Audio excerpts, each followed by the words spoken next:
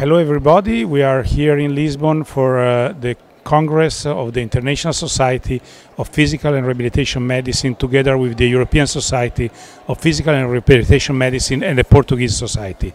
And in this occasion, we had the, the official launch of the Cochrane ebook. The Cochrane ebook is, is a resource online available to all rehabilitation professionals of the world and it contains uh, more than 750 Cochrane reviews with their abstract, their summaries, and they are all relevant to rehabilitation, giving the best available evidence uh, on rehabilitation for everybody. And there you can also find uh, in many of them the summaries uh, produced for students, for clinicians, for consumers, and even for health policy managers.